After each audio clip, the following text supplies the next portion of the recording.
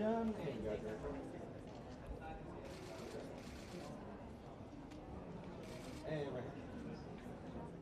The first one was a little bit of a process, and they found the movie in, in post, and I was just relieved that it turned out as good as it did. But then I was really confident that the filmmakers knew at that point what movie they wanted to make, so I knew the sequel was going to be a lot better than the first one, and it is. I don't know if you got to actually see it yet. No, because it's not done. It's still. I just saw it's in animatics.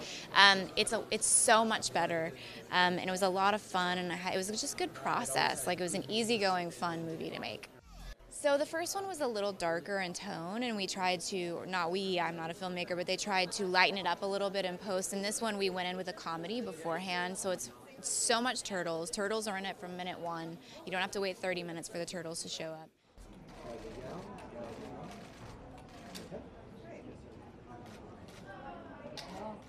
Something typical that happened where I was like, wah, wah, wah, and I knew this was gonna. So the guy that plays Raphael was like a big, hulky, muscly dude too, and so I was waiting for the two of them to meet each other, and within like 10 minutes, one of them was like, so what do you weigh when you're in like peak season? And I was like, oh, because one was like, I'm like 205 right now, and the other one's like, I'm 211.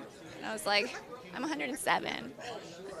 so it just, it was like very beefy, like a real macho contest.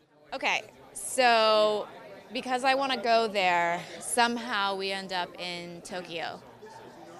Maybe they have to go back there to like study the art of karate or jujitsu a little bit more.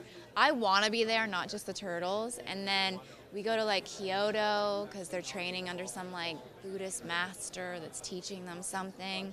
I'm just thinking about all the things I'm doing on my days off.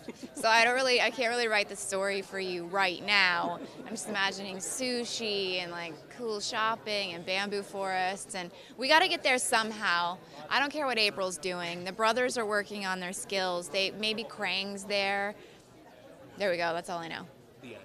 Uh, right, the end.